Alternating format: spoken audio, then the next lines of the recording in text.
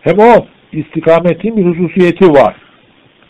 Cifirce çıkan devredeki müstakim zatın biraz da özel bir durumu var. Çünkü bu asırdaki fitne e, e, Adem Aleyhisselam'dan kıyamete kadar eşi hiç geçmedi diye Resulullah Aleyhisselatü Vesselam söylüyor.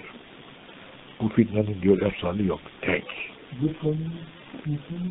He, yani benzerliği var da yani hiçbirisi bunun gibi değil. Evet, biz bunu e, külliyattan aldık. Şeyden de kütüb aldık. internete koyduk. Herkes bilsin diye.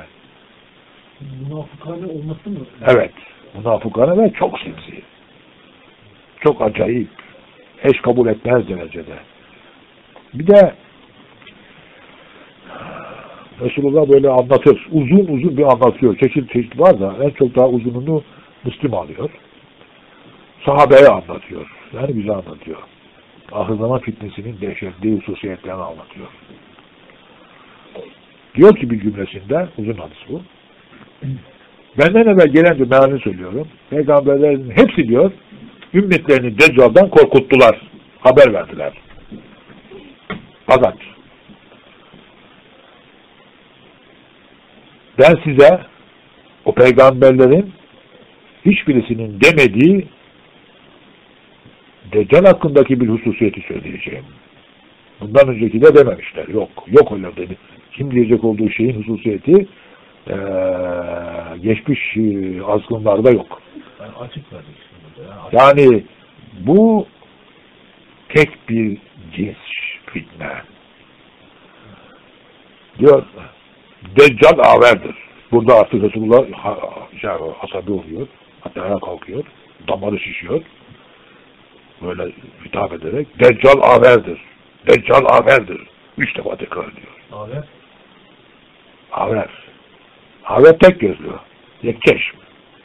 Yani sadece dünya yasak olup ahireti kabul etmeyen, iten bir bir ceryan durumunda.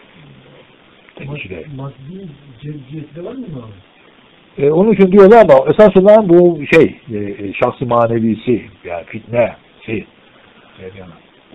Vallahi Rabbiniz haber değildir. Din, yani e, ahiret esas alır. Ebedi hayat esas alır. Allah'a iman esas alır. Dünya esas almaz. Şimdi biz bunu nasıl yazdık. Kaç para olursa olsun dedik.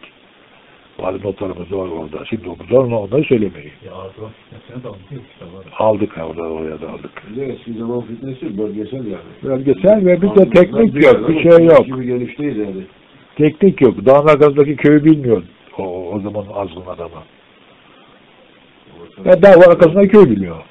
Niye? Yok ki imkan. Nerede? Nerede? Şimdi azgın azgın böyle bütün dünyaya e, Bütün dünya aniden. Aniden. Fabrikasyon. Ya. Şimdi mesela e, komşular rahatsız ediyor ya langır langur langır langur e namaz kılacağız kitap okuyacağız langır langur dan dun dan anında. neymiş bunun adı? müzikmiş. Allah Allah. Bir ders anında evet. Şimdi benim de hayalimde şimdi mesh meselesi var ayette ve hadislerde. Şimdi hayalimde bir maymun işte o dangır dungur aletinin önünde oturmuş o da böyle böyle yapıyor işte Hay- hayal ya bu işte. Ha tabii o işte maymun o onu, bilmiyor. Ama burada dikkat çekeceğim nokta şu. Sadece bu bir hadise olarak değil. Bu aynı hadise bütün Türkiye'yi birden milyonları birden aynı şey kaplıyor. Evet. Bak fabrikasyon ıslahat. Bunu düşünmüyorsun tabii. He ya. Diyorum ya Rabbi bizi seyretmek için neler yapıyorsun bizim için bu dünyada filmleri çekiyorsun. Ebedi kalacak. Acayip bir şey yani. Evet. Hayvanlaşmıştı, hayvanlaştırmışlar. Nasıl? Nasıl?